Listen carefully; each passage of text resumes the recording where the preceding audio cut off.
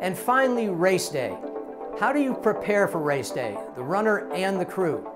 What are the expectations? And what the skills are that are needed for successfully crewing a runner at Keys 100?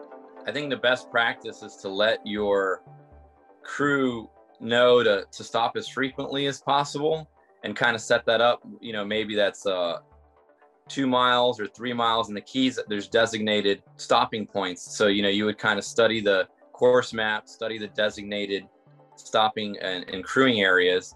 And I think try to utilize as many of those as possible.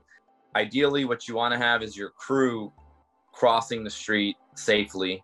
Of course, you know, obeying all traffic laws and all that and, and being very extra careful with that. But you want to have your crew take care of that. You know, we'd have a, a, a bucket ready with a, a bunch of items inside the bucket, you know, things that we already uh, kind of predetermined would be needed, but also you have a few extras just in case. So that way, you know, things happen and runners, uh, you know, might need to adjust at some point. Like get to know your, get to know the athletes, ask them questions ahead of time, like if there's any spe- special things that they need, but they're pretty much going to know what they want because they've already trained um, with, you know, with all the training that they had to do ahead of time.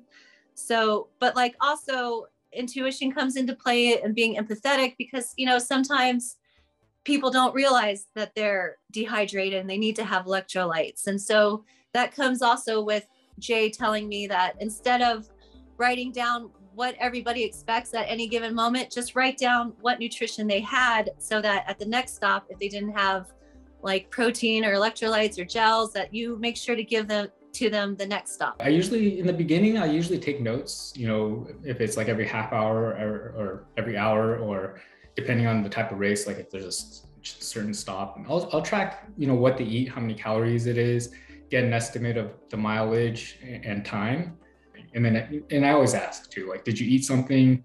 Uh, did you go to the bathroom? You know, I always ask just to know. And, you know, if someone hasn't gone to the bathroom for six hours, then, you know, you definitely want to pay close attention to that with maybe the hydration.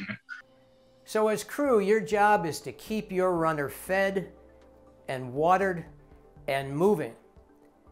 But it is also extremely important that you take care of yourself.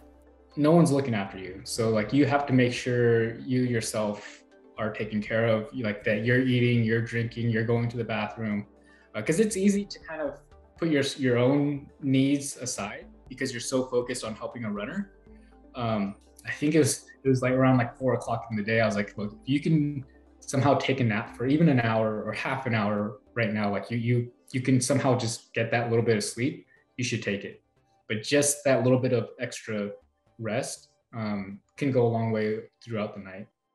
Just pay attention to your runners and their needs. They're already going to most likely know what they want, but you really have to be on top of, you know, um, just being there as their cheerleader and also making sure that they are getting in, you know, the things they need to get them to the finish line just make sure you take care of yourself, that you are resting because you are taking care of people and it's a very big responsibility, but it is actually more fun when you're in it. So it's going to be great no matter what. And so it's very important that the crew remain positive and be very encouraging of the runner along the way.